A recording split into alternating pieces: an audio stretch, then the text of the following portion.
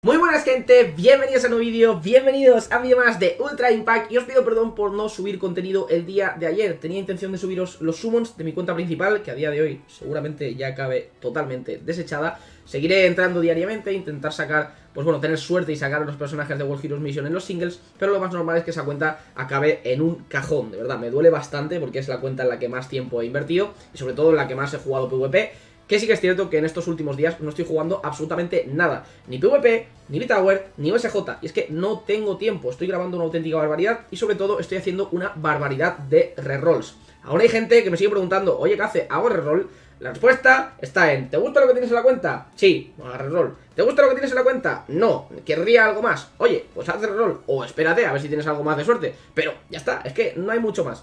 Pero es que casi sí, es que son los héroes de la collab. Ya os lo dije en el propio vídeo. Son muy buenos y son exclusivos, pero no imprescindibles. Así que únicamente tened en cuenta que debéis hacer rol si queréis. De verdad, una de las cosas buenas que tiene este juego es que podéis jugar con lo que os dé la gana. Así que no os compliquéis la vida. En este videito os voy a explicar el funcionamiento del nuevo evento que entró ayer, que también os tuve que haber subido el vídeo ayer, pero ya sabéis, pues bueno, pequeños problemitas. Ayer estaba bastante reventado y me acabé echando una siesta de demasiadas horas. Así que, os digo, os pido perdón, pero bueno, es lo que hay. Aquí tenemos el nuevo evento UA Ansiketsu, ya sabéis, centrado en lo que sería la adquisición de la licencia provisional de aquellos héroes que en la fase final de este, de este, de este examen, pues básicamente suspendieron. Obviamente, si tenéis personajes como Inasa, si tenéis personajes como el nuevo Todoroki, se os va a hacer muchísimo más sencillo este enfrentamiento. Y aparte de eso, también tener en cuenta los event bonuses, que es decir, los personajes que tienen mayor drop rate de recompensas en este eventito. Estos personajes serían tanto la nueva Kami, que ya sabéis que es farmeable en este evento, como estos dos, como Todoroki e Inasa, como la nueva memoria, la memoria de Endeavor, y finalmente la memoria free to play de este eventito. Así que a la hora de farmear, intentad que no es necesario, intentad meter a todas estas unidades o las máximas unidades posibles de estas que os acabo de mencionar en el enfrentamiento, ¿no? Así que sin más, vamos al lío, eh, ya os había recomendado que tirar a este banner no creo que sea lo más rentable, sin embargo pues el Todoroki y el Inasa están bastante decente y hay que reconocer que facilitarían bastante lo que es este enfrentamiento, ¿no? Sin embargo, pues bueno, ya os digo yo que no nos vamos a centrar en esto. Os explico cómo funciona el evento, porque funciona de una forma distinta a cómo funcionaba el evento de Neyir. En el evento de Neyir había unas cuantas stage, y en esas stage nos enfrentábamos a mayor dificultad, mayor drop de la moneda, y la moneda la canjeábamos en una tienda. Aquí funciona de una forma distinta, en este caso tenemos una especie de bingo. Aquí lo llaman lotería, pero yo creo que tendría más sentido como, como una especie de bingo, ¿no? Porque al final pues se van vaciando las, las cajas, etcétera, etcétera. Muy, muy parecido a un bingo. Así que sin más, Event, eh, event Story, como se llame, o Event Quest. En esta parte vamos a tener unas quests, tanto normal como difícil, que las vais a tener que completar. Son muy pero que muy sencillas. Y una vez las completéis, vais a conseguir pues cierto número de tickets. Estos tickets que vais a conseguir son los que estáis viendo por aquí. Por cierto, además de conseguir estos tickets, también conseguiréis estos dupes de la propia Kami, las cuales os va a venir increíblemente bien de cara a subir el personaje. Porque gracias a este evento vamos a poder tener una Kami Rainbow. No sé si existe esta mecánica dentro de Ultra Impact, pero me gustaría que sí, la verdad, que cuando un personaje esté súper, súper mamado, que le pongan una especie de, yo qué sé, de sellito, como en plan de perfecto. El personaje es literalmente perfecto, espero que sí. Personalmente no lo he visto, así que creo que no, pero bueno. Y como os mencionaba, vamos a tener una especie de stages en las cuales vamos a poder conseguir este ítem. Este es el ítem importante. Gracias a este ítem vamos a poder acceder a un boss. En este boss sí vamos a poder conseguir los tickets importantes para participar en el bingo y así conseguir las recompensas principales del evento. Como el anterior evento, eh, como estáis viendo por aquí, tenemos los bonuses, los bonuses del Todoroki, del Inasa, de la propia Kami, que en este caso son los del banner un 20%, la Kami que es free to play un 10%, luego la memoria que es un 5% más otro 5% por cada uno de los eh, de los Awakens que le hagas. Y luego la memoria free to play junto con eh, la propia memoria SR. Como estáis viendo, la memoria free to play un 2, la memoria SR del evento un 3%.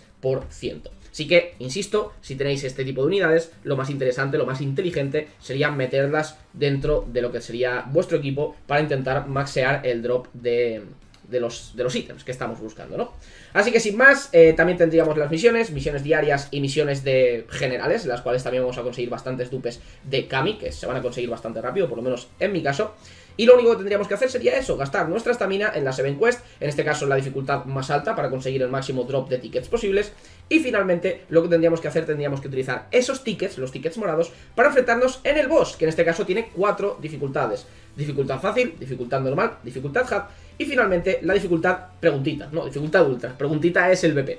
En este caso, aún no lo he intentado, lo intentaré en el vídeo en el cual os muestre cuáles son las unidades que yo creo que son más interesantes para este enfrentamiento, pero una de las cosas más importantes que tenéis que tener en cuenta a la hora de enfrentaros a cualquier cosa, tenéis que mirar qué es lo que hace el personaje. Todo esto os lo explicaré en otro videito, por si acaso pues os, cuesta un poquito más el inglés, pero que sepáis que cada stage tiene sus mecánicas y podéis verlas sin ningún tipo de problema. Cuando nos pasemos por primera vez el Ultra, pues conseguiremos a una copia totalmente gratuita de la, de la memoria, de la memoria SR que podemos conseguir farmeable en este evento. Y obviamente los tickets, que es lo más interesante.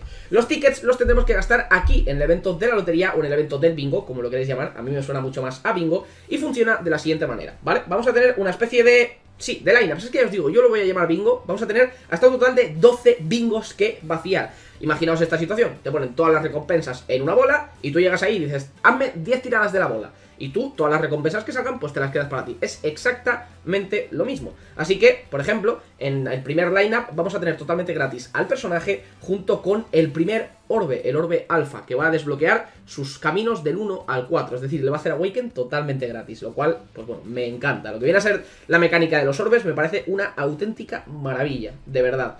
Luego, en el 2, por ejemplo, podríamos conseguir dupes, tanto, bueno, dupe, eh, dupes del personaje, como en la primera copia de la memoria, en el caso de que no la tengáis, que no la hayáis conseguido aún. Que yo creo que en alguna parte del evento ya habríais conseguido alguna, pero bueno. Como veréis también en cada una de las lineups también hay unas pocas gemitas. Conforme vayamos avanzando habrá mejores eh, o mayor cantidad de gemitas, pero tampoco hay muchas, así que no nos volvamos locos. En total en el evento igual se puede conseguir un multi, no lo he podido... No, me he parado a comprobarlo, pero creo que será algo por el estilo. Si no es, si no es un multi será parcialmente cerca de lo que sería el multi summon, ¿no?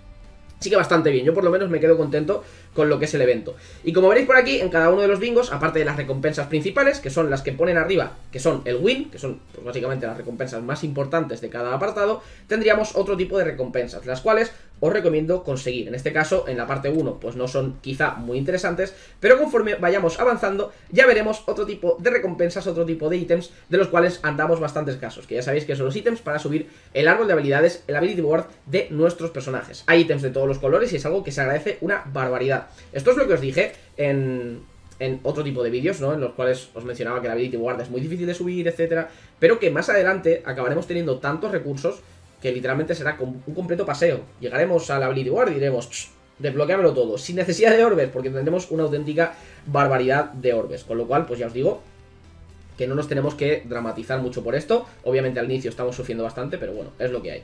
En el 3 conseguiríamos más dupes de Kami, como veis por aquí, más gemitas. Yo os recomiendo no pasar, porque una vez conseguís las dos recompensas de Win, os dejan pasar al siguiente bingo. Yo no os lo recomiendo. Yo no os recomiendo pasar al siguiente bingo hasta que por lo menos consigáis las gemitas, que para algo están, ¿no? Al final son unas. Son muy poquitas, pero bueno, por, ejemplo, por aquí vamos a poder conseguir 20 gemitas. No es ni siquiera un single, pero oye, 20 de aquí, 20 del siguiente y así sucesivamente. Y conforme veréis que vayamos avanzando, también van aumentando un poquito las gemas. Pues oye, al final se acaban haciendo 3 o 4 singles de esta forma, más las que hemos conseguido anteriormente.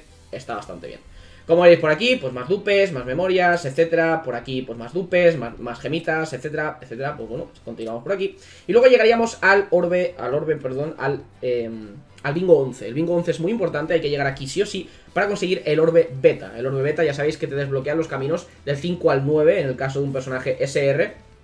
Y es algo realmente interesante y algo que obviamente tenemos que conseguir. Así que gente, a darle caña al eventito es muy, muy, muy sencillito realmente. O sea, lo que es el enfrentamiento del boss en hard es súper fácil. Lo que voy a intentar en otro vídeo es enseñaros el enfrentamiento en ultra. A ver si de algún modo, eh, estudiando un poquito las mecánicas del enfrentamiento y mm, mejorando algunos ciertos personajes, podemos intentar pasárnoslos. ¿Cuál es el problema? Que en esta cuenta en particular, algunas de las mecánicas y algunos de los colores que que serían fuertes contra este evento, porque al igual que en el evento de Negire los enemigos eran azules y si tenías personajes verdes se te hacía más sencillo, en este enfrentamiento los enemigos son verdes. Y si tienes personajes rojos se te hace más sencillo.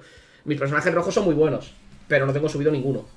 Y aquí tengo un pequeño problema. Entonces, pues bueno, quizás se me complica un poquito. Lo intentaré, tendréis otro videito hoy, aparte del vídeo de Summons, así que, pues bueno, echadle un ojo. Pero como os mencionaba, pequeño ejemplo, vamos a hacer por aquí, vamos aquí, gastamos toda nuestra estamina. Como veréis, pues vais a tener que poner vuestro mejor drop. En este caso mi mejor drop es únicamente Kami, más la memoria del evento. No, no puedo conseguir mejor drop ahora mismo. Así que venimos aquí, le damos a skip, conseguimos las recompensas. Que por cierto, no se suele recomendar skipear porque siempre puedes eh, hacerte la stage manualmente y coger de amigo un personaje que esté busteado. Entonces tienes aún más drop extra. Es recomendable pero es un poco tostón, así que yo personalmente no, no, lo estoy haciendo de momento.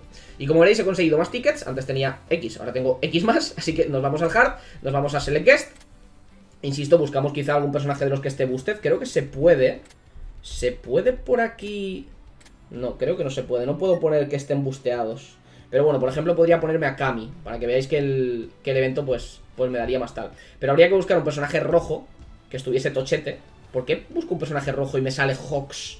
Tengo que seguir a más gente en esta cuenta.